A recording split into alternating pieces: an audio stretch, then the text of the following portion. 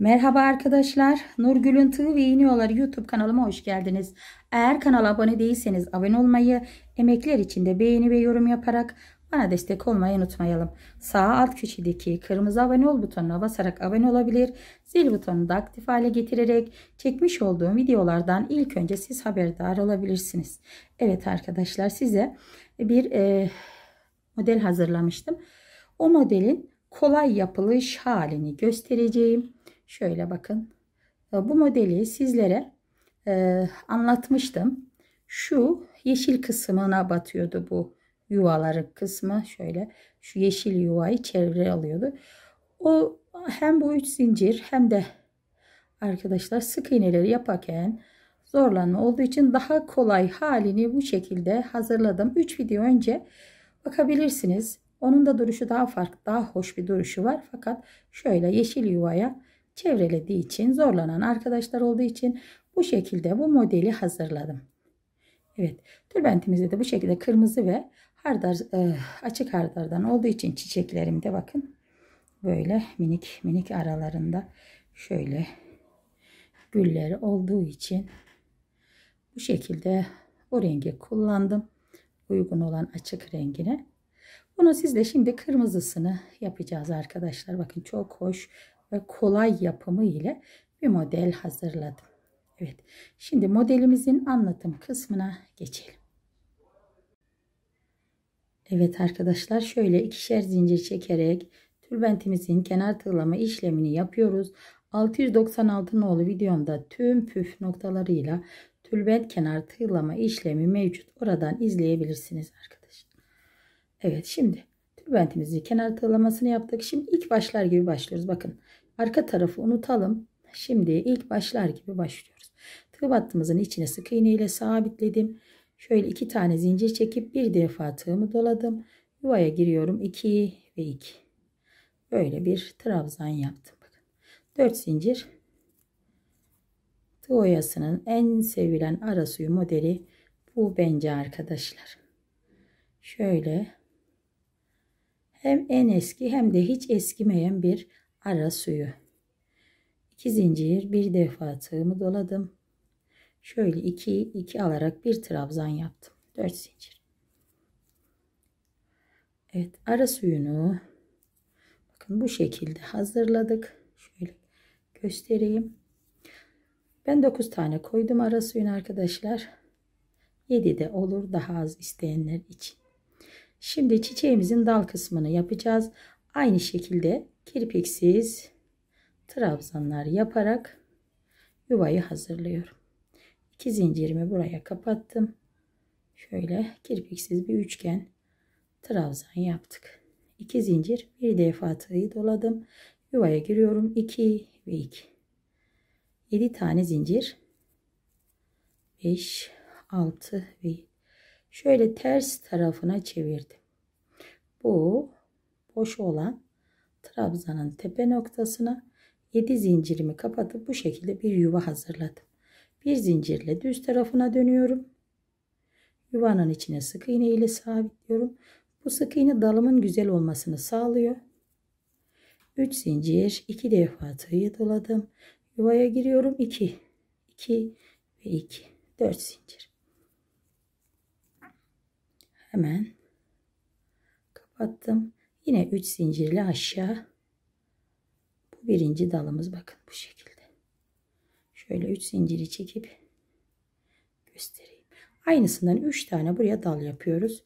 3 zincirin üzerine 2 defa tığımı doladım. Yuvaya giriyorum. 2 2 2 çekmemin sebebi kalın olması için şöyle. Trabzanımın fıstıklarımın taşıyacak destekte olması için bu şekilde ikişer ikişer alıyorum. Yine 3 zincirle yuvaya girip ikinci dalımızı da kapattık. Yaptık. 3 zincir, 2 defa tığı dola, yuvaya gir. Şöyle 2, 2 ve 2. 3 zincir boyutunda trabzanı hazırladım. 4 zincir. Kapatıyorum buraya. 1, 2, 3 zincir. Yuvaya girdim. Şimdi bakın arkadaşlar burası önemli. Buraya iki tane sık iğne yapmamız lazım. Yoksa aşağı e, yere değmemesi için, meyil etmemesi için iki sık iğne yapıyorum. Sonra iki zincirimi çekip sıradaki tığ battıya giriyorum. Hemen bu şekilde 3 tane dal ve ara suyunu hazırladık. Aynı şekilde demin gösterdiğim ara suyunu buraya 9 tane yapacağız. Şöyle bakın iki zincirimi çekiyorum. Bir defa tığımı doladım. 2 ve 2. 4 zincir trabzana kapat bir pipirik oluştur. 2 zincir sıradaki yuvaya gir. Kapat. Bu kadar ara suyu arkadaşlar.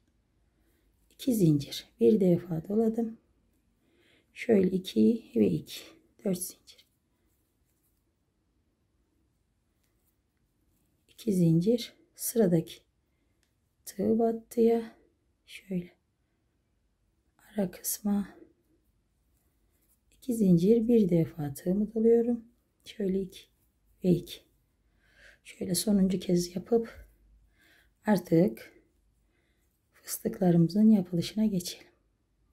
Evet, iki zincirimi kapatıyorum. Yandaki boşluğu.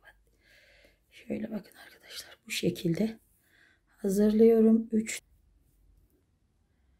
Evet çimenimizin ilk dalından girerek sık iğne ile bakın buraya ipimi sabitleyip başlıyorum. 7 tane zincir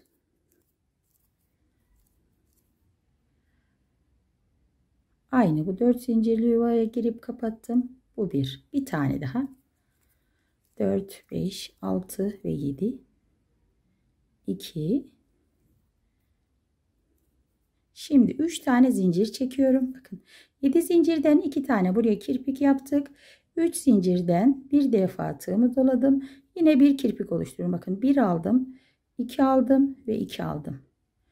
Bu şekilde 3 tane kirpiği buraya oluşturup 13 tane şöyle sıkı sıkı zincir çekiyoruz. 6, 7, 8, 9, 10, 11, 12 ve 13. Çevirdim. Buraya ilk kirpiğin içine kapattım. Bakın. Bu şekilde yapıyorum. Önceden ne yapıyorduk? Bu yeşil yuvaya kapatıyorduk 15 zincirle. Şimdi kirpiğin içine şöyle bir tane sık iğne yapıyorum. Bir zincir otomatik çekildiği için bir tane de ben çekip iki zincirle şöyle dönüşümü yaptım bakın. Buraya zincirimizin içine girip bir tane iki zincirden kirpik oluşturdum. Aynısı sistem öbüründe olduğu gibi bu şekilde zincirlerimizin içini kirpikle dolduruyoruz. Bakın sayıp da simetri de yapabilirsiniz. Saymadan göz kararı da doldurabilirsiniz. Şöyle 4 2 zincir 5 6 7 8 9 evet. şöyle bakın sonuna doğru çekince güzel böyle sıkı bir e, kirpikler oluyor arkadaşlar. Baştan da hani kamerada biz bu şekilde yapıyoruz. Siz baştan da sıkılayarak doldursanız rahat oluyor. Şöyle bakın 2 zincir yuvaya gir. Sık iğne ile bu şekilde çekmiş olduğumuz zincirimizi doldurduk. Bakın. Şimdi Burada 4 tane 3 zincir çekiyorum. Sanki 4 tane kirpik varmış. Ortada da 2 tane kirpik varmış gibi oluyor. Sık iğne ile buraya geçişimi yaptım. Şöyle göstereyim. Bakın bunun yapılışı daha pratik oldu. Öbürüne nazaran değil mi arkadaşlar? Daha kolay bu şekilde de yapabilirsiniz. Duruşları farklı oluyor. Onu da artık zorluğuna göre tercih edebilirsiniz. Kolay yapılınca bu şekil oluyor. 3 zincirle yine aynı şekilde geçtim ve buraya da 7 zincirden 2 tane kirpik yapıyorum. 7 zincirimi çekip bu 4 zincirliği yeşil yuvaya kapattım. Yine 7 zincir. 5, 6 ve 7. Bu şekilde ikinci 7 zincirimi kapattım. 3 zincir bir defa doladım. Bakın bu 7 zincir seviyesinde Buraya bir tane daha bu şekilde kirpik yapıyoruz. Bakın bu taktik çok kolay. muhakkak deneyin güzel oluyor arkadaşlar bakın. Aynı kirpik oldu. Ve 12 tane zincir çekiyorum. 5, 6, 7, 8, 9, 10, 11 ve 12. Şöyle ters çevirdim. İlk kirpiğin içine. Kolaylığı bu. Yeşil çimene değil de sadece kirpiğin içine kolaylık seviyemiz bu arkadaşlar. Başka bir e, şeyi yok. Püf noktası. Sadece dibe değil kirpiğin içine yapıyoruz. Bir de sondakini trabzanla kirpik yapıyoruz. Bakın bu şekilde 12 zincirden yuvamızı oluşturduk. 2 zincirle döndüm düz yüzüne. Yine aynı şekilde 13 tane bu şekilde minik kirpikler yapıyoruz. İkişer zincirli kirpikler hazırlıyoruz. 2 zincir şöyle 3 2 zincir şöyle 4 hafif kaydırdım. Yine 2 zincir 5 6 şöyle 2 zincir 7 8 9 10 şöyle hafif kaydırıyorum 2 zincir şöyle 11 şöyle 12 Evet bu şekilde bakın çekmiş olduğum zincirlerimi kirpikle doldurdum 3 tane zincir çekiyorum şöyle göstereyim bakın bu yapmış olduğumuz trabzanlı kirpikten sonra bir de 3 zincirle aşağı inip kapatıyorum. Bu da farklı bir kirpikmiş gibi oluyor. Şöyle 3 zincirimi sıkı sıkı çekip 3. yuvaya geçiyorum. Şöyle ikinciyi de göstereyim bakın arkadaşlar. Böyle iğneden tığa hoş bir iğne modelini tığa çevirmiş oluyoruz. Evet 7 zincir çekelim. 2 tane kirpik yapalım. Şöyle kapattım. 3, 4, 5, 6 ve 7. Bu da ikinci. iki tane 7 zincirden kirpikten sonra şöyle 3 zincirimi çekiyorum. Bir defa tığımı doladım. Hemen yuvaya girdim. 3 sefer. Bakın 1, 2 ve 2. 3 zincir boyutunda bir trabzan oluşturup 12 tane zincir çekiyorum. 6, 7, 8, 9, 10, 11 ve 12. 12 zinciri trabzandan sonra çektim. Şöyle ilkteki kirpiğin içine ah, sık iğne ile girip ortada bir tane bakın süs olarak kirpiğimiz kalıyor. Tıpkı iğne oyasındaki kirpikler gibi. Kirpik güzel dursun diye yanına bir de sahte sık iğne yapıyorum. Direkt zincir çekip içeri geçmiyorum arkadaşlar. Şöyle bir dolgunluk veriyor. Dönüşte yukarı doğru sıyrılmıyor. Şöyle bakın oturaklı bir kirpik oluyor yanda. O da bu e, sık iğneden sonra yanına bir sahte sık iğne yaptığım için. İki zincirimi çekiyorum. Şöyle iki zincir. Üç. İki zincir. Dört. Beş. Altı. Yedi. 8 9 şöyle 10 bakın şöyle sıyırınca daha sıkı güzel kirpikler oluyor yine iki tane daha yapıp burayı da 12'ye tamamlayalım simetri olsun hepsi 12 çünkü ve 3 zincirimi çekip yeşil yuvada kapatıyorum en son bu şekilde Dibine de bir tane zincir çekiyorum. Ve ipimizi koparalım. Tığ düştü arkadaşlar. Hemen şu ilmeği arkada yakıp geleyim. Evet. Demin tek gösterememiştim arkadaşlar. Şöyle beyaz zemin üzerinde tek göstermek istedim bu hardar sarısı modelini. Beyazda daha net anlaşılıyor. Daha güzel gözüküyorsa. Bu da sizle yapmış olduğumuz kırmızı Rengimiz gerçekten çok tatlı oldu arkadaşlar. Şöyle göstereyim. Ütüye de giden bir model oldu. Kalıp gibi hoş ve zarif bir model oldu.